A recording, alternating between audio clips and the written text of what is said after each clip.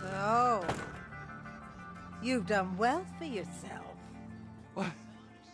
What, what are you doing here? Is that how you greet your mother, Trevor?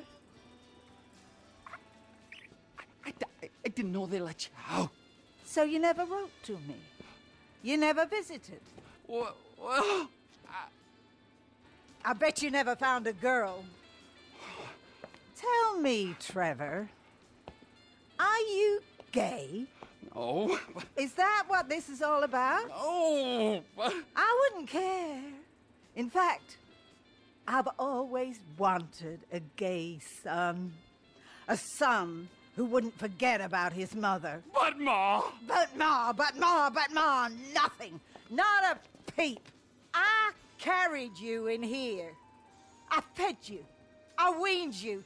Now look at you. You always were. An ungrateful, wretched, sniveling sack of shit of a boy. You know it, and I know it. There was always something wrong with you. Ashamed of yourself. Ashamed of me. Of your own mother. I've been here for hours. And have you gotten me a drink? Or a cigarette? Or massage my feet? I'm an old woman. And you, in the prime of life, have you nothing inside? I am so sorry.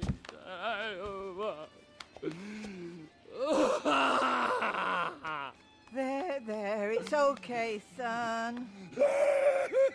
Oh, that's